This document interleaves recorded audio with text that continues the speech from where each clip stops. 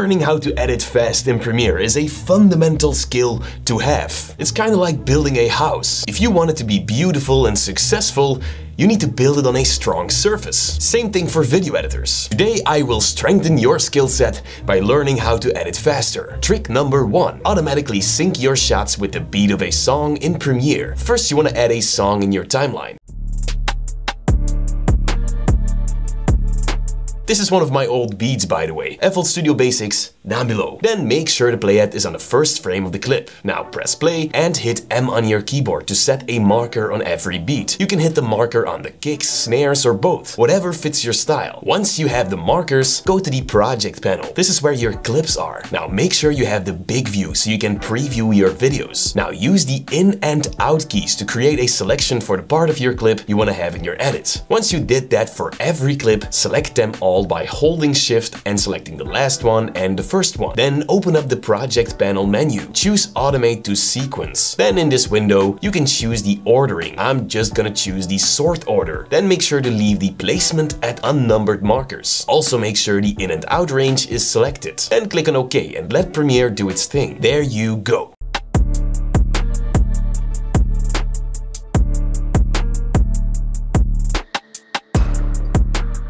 Time for trick number two, pancake editing. What in the world is pancake editing? This is when you have two timelines instead of one. Let me explain. Here you can see an edit of mine. This is a fun side project, by the way. Now, what I like to do instead of dragging my clips into the timeline is this. I create a second sequence with the same settings as my original one. This one's empty now. Next, I drag them on top of the original and as you can see, this is where the name pancake comes from. Now, I'm gonna use this timeline to add some assets I wanna use and to do some quick rough edits Also transitions I use a lot will be in here. That way I can just hold down Alt and duplicate them into my original timeline. This is a huge time saver. Trick number 3. I want to show you how I personally cut away bad takes, breaths and have a complete edit in just a few seconds. I am doing this across all my channels, so pay attention. Gling AI is a tool you can check out for free. All you need to do is drag your recording into the software and now this is where things get interesting. If you have a multicam setup, like with a podcast or anything else, Gling AI will recognize that. You have a script, upload it here because that will make sure your video is cut perfectly. But even without a script, this tool is so much more accurate than any other tool I've ever used. Then click on continue. Right now you can choose the options. First make sure cut silences, cut bad takes and remove filler words are enabled. I also like to remove audio noise and enhance my audio. Also, let's enable the like and subscribe button. Then click enhance and edit. Once it's done, you will see the timeline now from here. You can instantly send your edit to Premiere and as you can see the source of the clip is still 100% intact so you can edit however you want. But before you export it, there's tons of interesting stuff you can do in Gling which is really worth checking out. As you can see, here's my script. Right here I was calling my cat Lucky and Gling detected that. You can also hide the cuts so you don't see the parts in the timeline or in the script. Next, I always adjust the pacing to fast because these are studio recordings for tutorials. This way the cuts are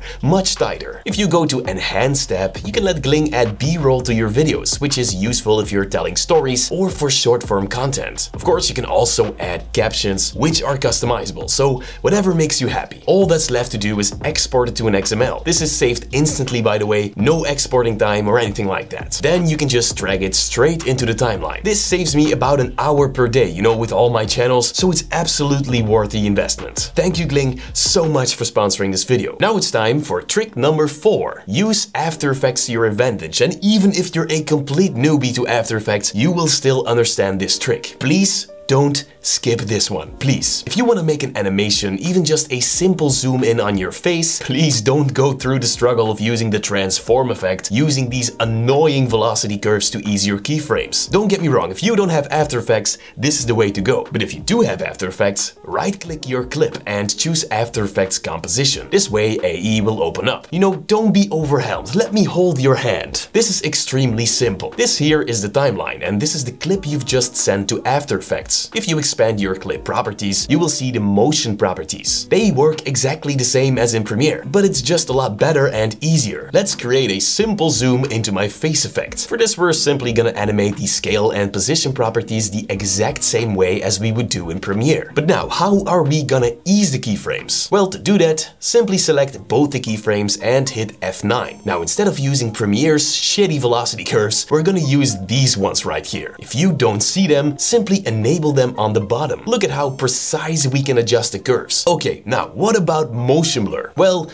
just enable the motion blur toggle. It's that simple. Now press Ctrl S to save your project and if we jump back to Premiere, your animation will be in here. There you go. Now for trick number 5, we're gonna use Premiere's Generative Extend. I made a video about the pros and cons about Generative Extend, so if you, if you wanna learn everything about that, video right here on my left. Thank you guys so much for watching.